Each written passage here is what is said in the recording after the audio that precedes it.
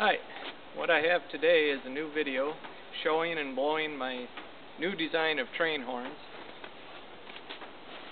This is a slightly different design than I used to have.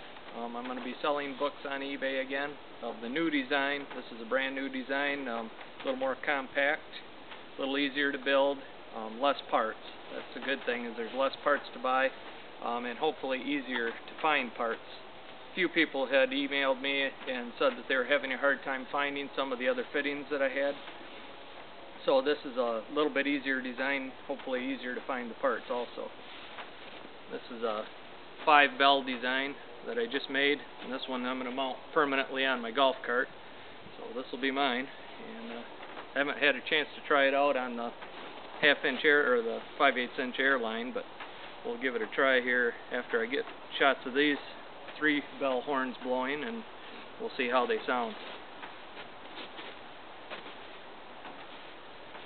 But I'll show you a little closer detail on the changes that I've made.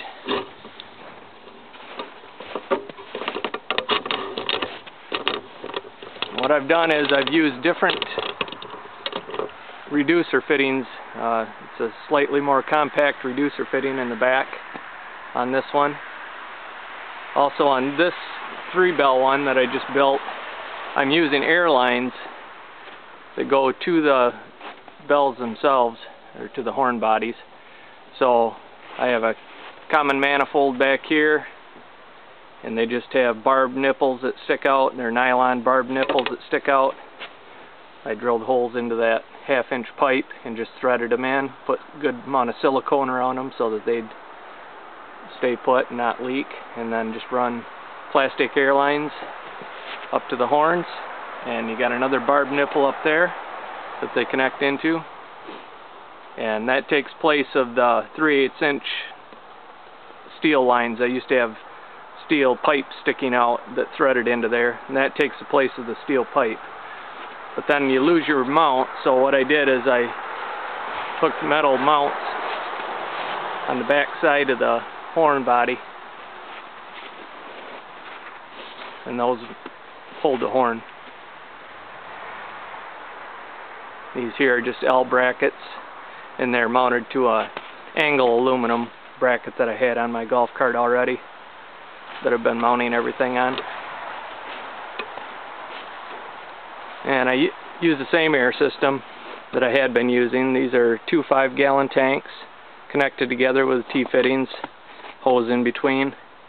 And main 5 8 inch hose runs up goes up to my half inch ball valve. Then there's a half inch threaded pipe into that that has uh, nipples with the air lines coming out of that manifold and just goes up to the horns. So like I say this is a little easier to build design.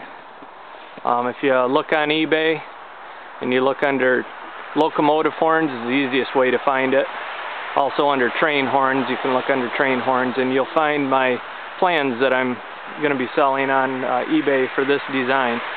Hopefully this will be my last design change um, but I think it's a better change. Uh, the horns still sound really nice. They've got a good loud tone to them and uh, they work real well. Here's a little better look at the five bell Now the 5 bell I have hooked up with the steel lines. I'll flip them around here for you. These are hooked up with a steel half inch line on the bottom, half inch tees, and then it goes to a 3 8 inch into the bottom and it's threaded right into the bottom of the horn body. And on these I wanted to cut the air down just a little bit. They don't need a 3 8 inch line for one horn so I put a a 3 8 inch wood plug in the bottom of them. It's about that long. And then I just took a quarter inch um, drill bit and drilled the dowel out with a quarter inch line coming out of it.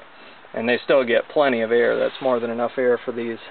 And it holds back the air just a little bit so you aren't wasting so much air because they really don't need that much.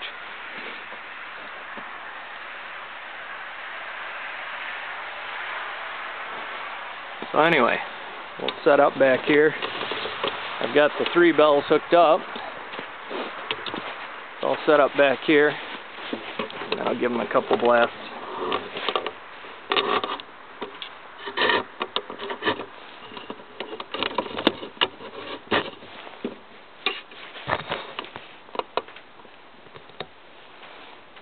There. About 15 feet away right now.